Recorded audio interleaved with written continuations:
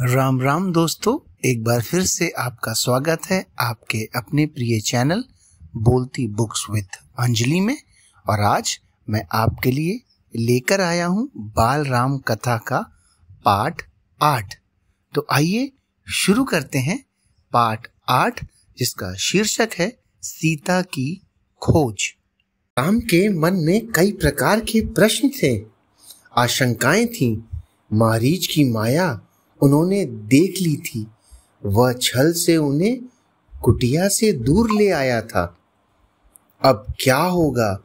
यही सोचते हुए वे कुटिया की ओर भागे चले जा रहे थे। वापसी में एक पल भी विलंब नहीं करना चाहते थे। लक्ष्मण को वे कुटी पर छोड़ आए थे, सीता की रखवाली के लिए। अच्छा हो कि लक्ष्मण वहीं हो। मारीच की मायावी आवाज़ उन तक ना पहुँची हो। राम ने सोचा, सीता अकेली रही तो राक्षस उन्हें मार डालेंगे, खा जाएँगे। तभी उन्होंने पगडंडी से लक्ष्मण को आते देखा।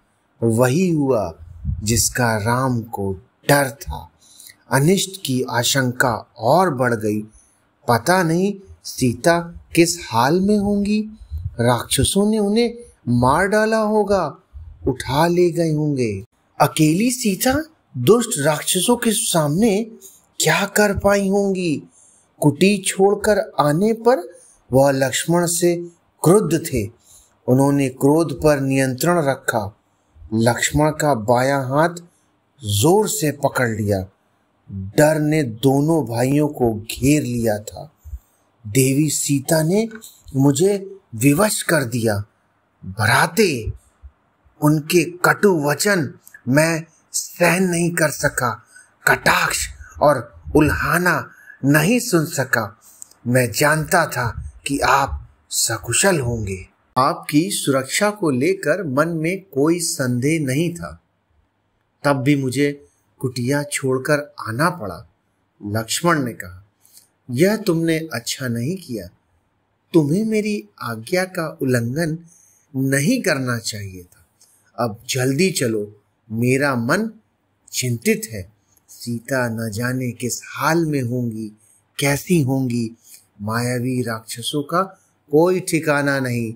राम ने चलने की गति और बढ़ा दी। कुटिया अभी कुछ दूर थी, पर दिखाई पड़ने लगी थी।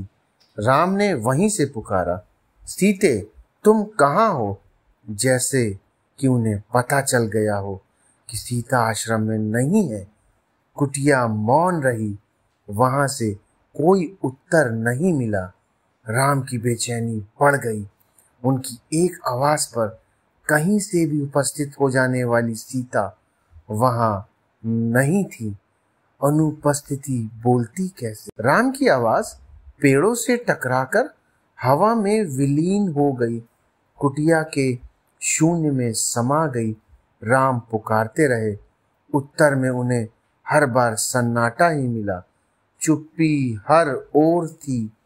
हर दिन हवा में झूलने वाले पत्ते शांत थे। लताएँ गुमसुम पड़ी हुई थी। चिड़ियों की चाक लुप्त थी। कुटिया के निकट घूमने वाले पशु पक्षी चुप खड़े थे। सब स्तब्ध। राम भागते हुए आश्रम पहुँचे। कुटिया में जाकर देखा, सीते सीते, पुकारते हुए उन्होंने आसपास की हर जगह देखी। पेड़ों, झाड़ियों के पीछे गए। उन स्थानों की ओर भागे, जहाँ सीता जा सकती थी। सीता का कहीं पता न था। शोक से व्याकुल राम रोने लगे। सीता से पिछुड़ना उनके लिए असहनीय आघात था। वे सुध बुध भुला बैठे। विरह में वो गोदावरी नदी के पास गए। उससे पूछा, तुमने सीता को कहीं देखा है? नदी ने कोई उत्तर नहीं दिया। वे पंचवटी के एक एक वृक्ष के पास गए। सबसे पूछा, कोई सीता का पता बता दे? हाथी के पास गए। शेर से पूछा, फूलों के पास रुके। चट्टानों पत्थरों से प्रश्न किया। शोक संतप्त राम भूल गए कि चट्टाने नहीं बोलती पेड़ पौधे बात नहीं करते, उनकी भाषा मौन है, उनके उत्तर भी मौन राम की मानसिक स्थिति विक्षिप्त जैसी थी।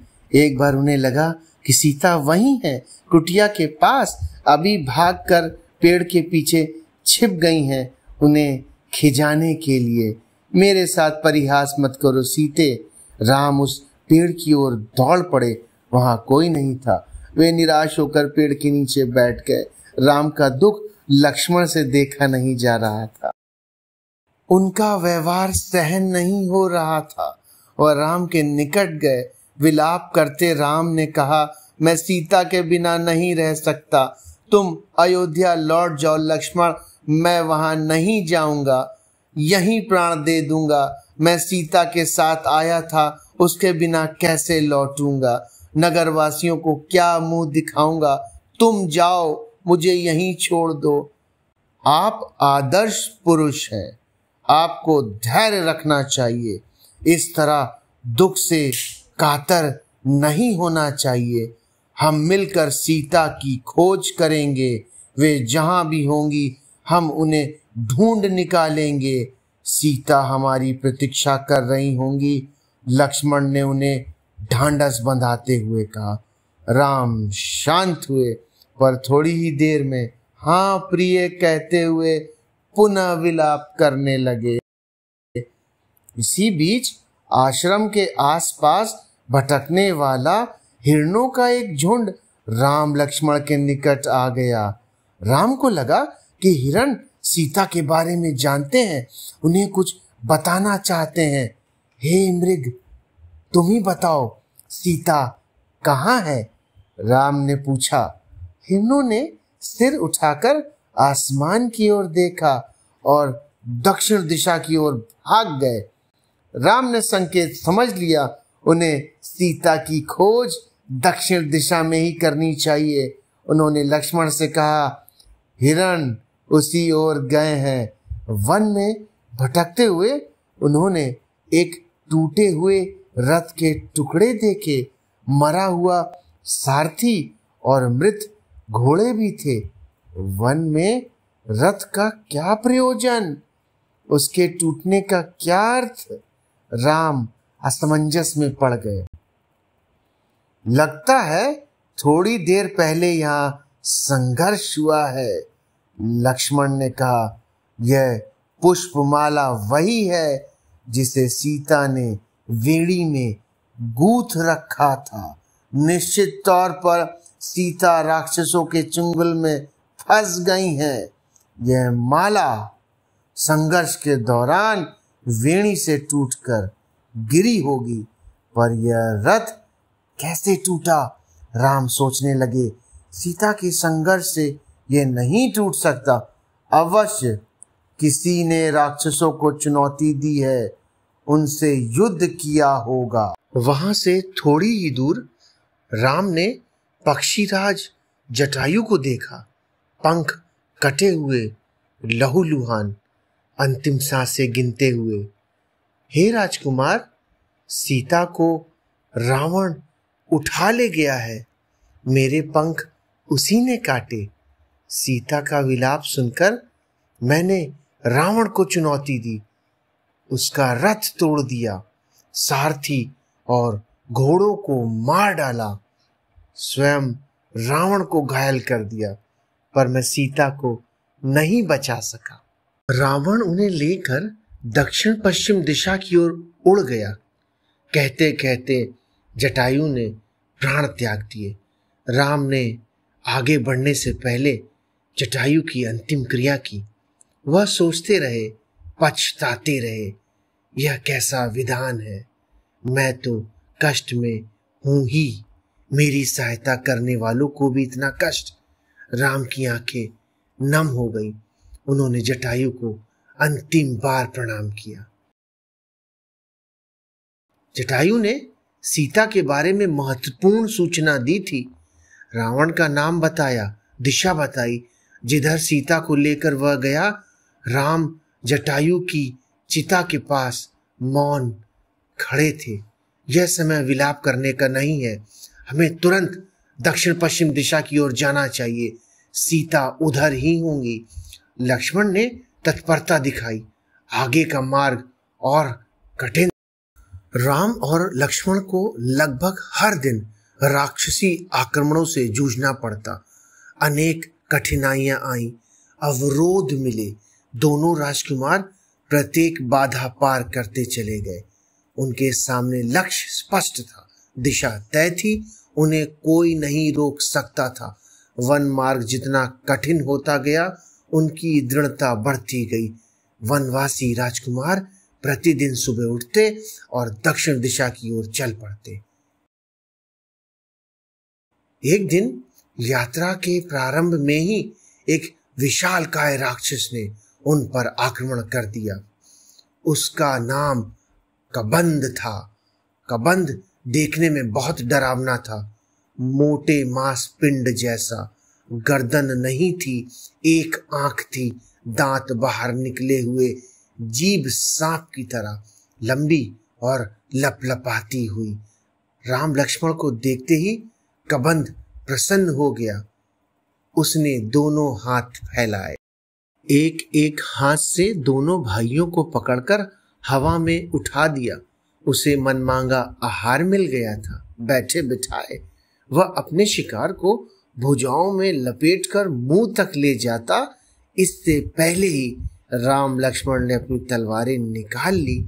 एक झटके में कबंद के हाथ काट दिए। उसके हाथ धरती पर गिर पड़े। कबंद उनकी शक्ति और बुद्धि पर आश्चर्यचकित रह गया। कौन हो तुम दोनों?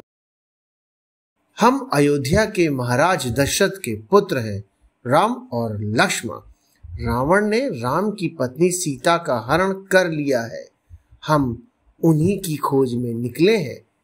राक्षस कबंध ने राम के बारे में सुन रखा था।